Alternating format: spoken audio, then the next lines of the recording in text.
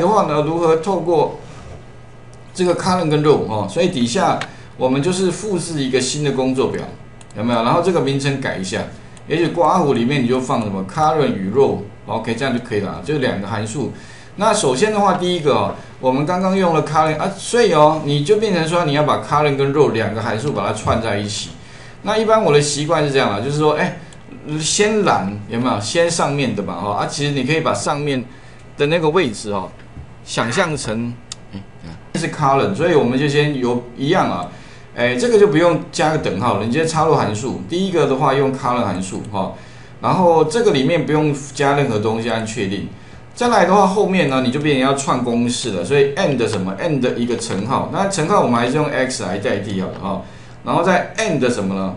后面的话呢就是 row 了，所以 row 比较短，直接自己打好了，我习惯自己打 row 小刮胡。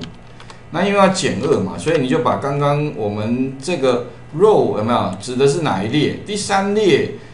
那我要把它变成一的话，你就减一，哎，减二就可以了哈。那这样的话就是一乘一。等于那后面的话，and 再加一个等号，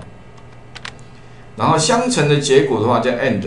那相乘的话就 column 乘上 row 啊，我有个偷懒的方式啦，你可以把这个公式哈，一直复制到复制到这里，把它贴过来之后呢，再把这个中间 and 的乘号这个改改成乘就可以了哈，把它复制一下，然后贴到后面。那记得哦，这个地方把它改成什么？实际上，因为它真的乘嘛，哦，不是加一个符号，而你就直接把 and 乘号 and 改成乘号，这样就 OK 了。就实际上这个 column 乘上这一个 row，这样子就 OK 了啊。所以公式大概是长这样。那你说老师，那这个地方需不需需不需要再加什么呢？像刚刚我们不是有加钱的符号，对不对？那各位有没有发现哦？因为它不是一个储存格，它是抓它目前所在的一个相对位置哦，所以它是不需要哈加上前的符号，所以你现在只要把它向下填满，再向右填满，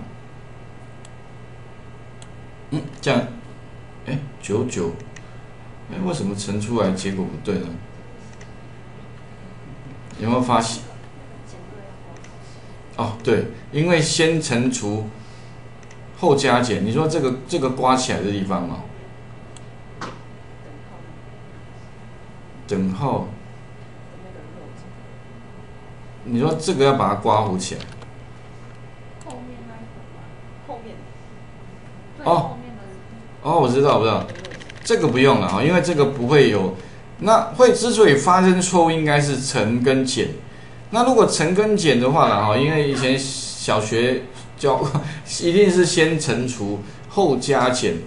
啊，所以如果你假设要先先减再乘的话，那记得哈，你要先把这个怎么先刮弧起来，哦，先跟他讲说，哦，我要先减了之后再乘哦，不然的话他会先乘了之后再减，那所以得到结果不正确，OK 哦，所以这个地方出错了，哦，把它打个勾，